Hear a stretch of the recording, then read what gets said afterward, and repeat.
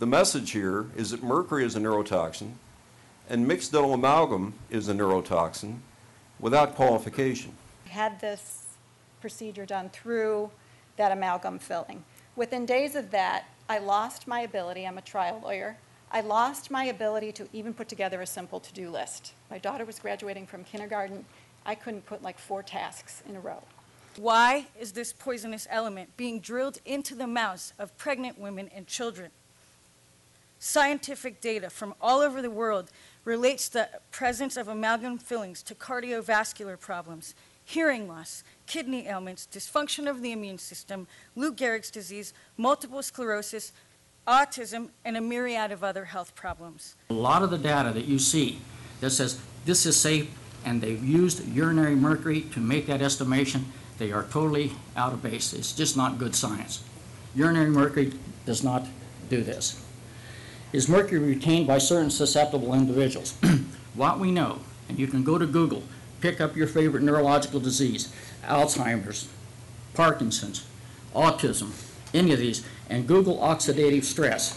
And you will see that oxidative stress is correlated to all the neurological illnesses that we know about, as well as things like arthritis, etc. Oxidative stress says that your levels of glutathione are below normal. Glutathione is the molecule that is bound to mercury to allow it to be excreted fecally. If you don't have glutathione, you can't get rid of mercury. And if you do have a lot of mercury in your feces, you are depleting your body of glutathione. It's a two-way street. I've been suffering from numerous autoimmune and mystery illnesses for many years. Most recently, I've been managing symptoms of fibromyalgia, ADHD, peripheral neuropathy, chronic fatigue, celiac disease, in addition to 81 other food allergies. I was vomiting every day for months. MS, ALS, Parkinson's, and Alzheimer's continue to plague me. Learning that dentists who continue to place this cumulative neurotoxin are affecting the health of the entire body as mercury leaches out of the fillings and is absorbed throughout from head to toe is most sobering. And the harsh reality that mercury lodges in the brain, where it stays year after year, Excuse me, we need to ask you to sum up. suppressing the immune system and killing neurons but destroying their myelin sheath. I am living proof of that. A couple of people from the P- Pennsylvania Dental Association. I want to tell you a little about what they did this year. Uh, it, before the Philadelphia Board of Health, the PDA testified in favor of a dentist who, and in favor of a system saying that the inner city children, the children with disabilities in North Philadelphia, that's the African American area of Philadelphia, that the black children should not get dental care, should not get dental care unless their parents sign a statement agreeing to get mercury fillings. I want to show you the horrible amount of mercury that comes out of these amalgams when you first just triturate it. It's not a little bitty top part that y'all are talking about. I don't know where in the world this is coming from, but you ought to just see. So I have passed it around to you. I have put it in photographic form. I don't understand why uh, teeth that are uh, extracted uh, with mercury fillings are, must be considered as hazardous waste. And he gave me a few teeth that uh, he had extracted uh, that do contain mercury fillings. And it, it, he said that according to the government, these fillings are, these teeth were perfectly safe uh, when they're in the person's head. You take them out and they're hazardous waste. That just isn't logical and doesn't make any sense to me whatsoever. We had a Lancaster County dairy farmer who suffered 15 years from small, small um, heart attacks. He was sent home to die. As soon as we take, took the failed amalgam fillings out, his heart attack stopped and he went back to work. We had an MS patient gets out of her wheelchair and walks as soon as she became mercury free.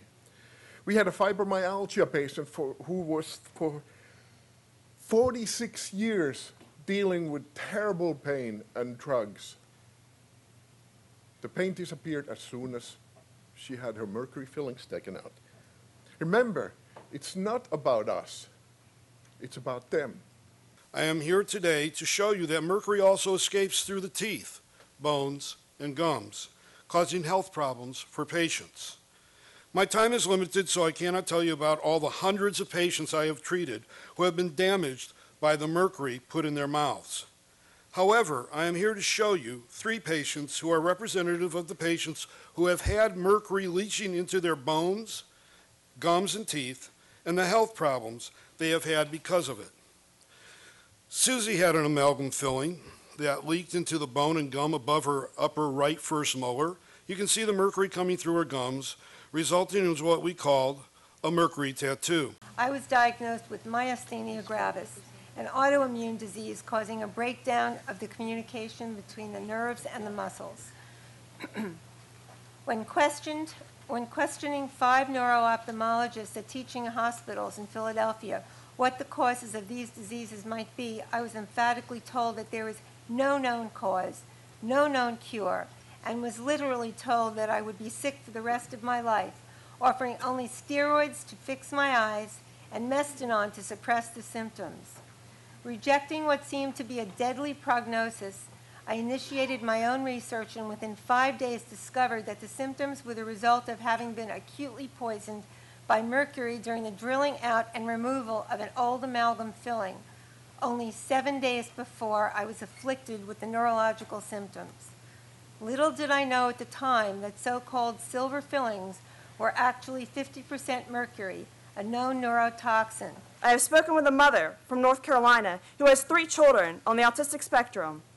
She was turned away by the only dentist in her area simply because she did not want to subject her neurologically impaired children to this neurotoxin. I'm an RN. We'd been to every doctor under the sun. I'd studied, studied, couldn't figure out what was wrong with him. Everything was normal. They don't know why he kept having all these symptoms. Mayo Clinic, two weeks, $80,000. Still no answers. All the tests come back normal. We don't know what's wrong with him. Um, we come home, we have six children, and we come home to die. That's what it was. My husband could not get up and take my kids places. He had vision loss, he couldn't hardly drive. Um, it, it was horrible. It was horrible. Um, May 2010, I had had somebody say something to me about dental fillings. I thought, well, that can't make you sick. I'd never heard of such a thing. I'm a nurse, public health nurse, never heard of amalgam fillings making people sick. Looked it up, and all the symptoms were there. I was dumbfounded. Mercury doesn't bother Kennedys, and that doesn't make it right to put it in people that you saw here talk today. It also doesn't make it right for the dental students who are taught that mercury is safe to argue their patients into having mercury. That's what we were taught in dental school. We got a perfect discussion yesterday about how we don't use the mercury word. Oh, we call it amalgam. That's part of the deception. So that people don't understand you're implanting them with a time release implant that will accumulate in various organs. Lee Cashman, our executive director, hears these stories all day long. He's on the phone 10 hours a day, seven days a week, talking to people that are poisoned. He spoke to a uh, instructor from a community college in Virginia whose dentist placed gold crowns over top of mercury fillings. This combination of mixed metals, gold, silver, zinc, tin, and mercury, acted like a battery in his mouth, causing more mercury to come out of the fillings.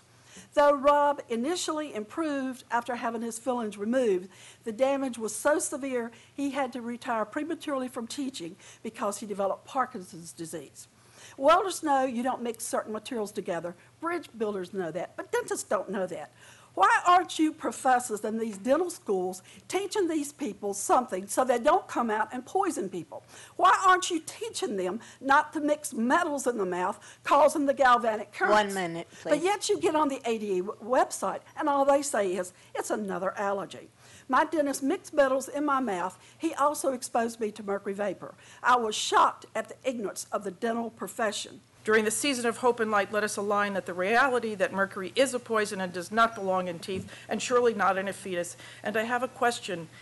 with 10 regard- seconds, Okay, please. why is a voting panel of dentists making a medical determination on the well-being of a fetus and child? I testified in 2006, so I have the same thing that everybody else back there has. I was a dental assistant for 24 years until I couldn't work anymore. I lost my job.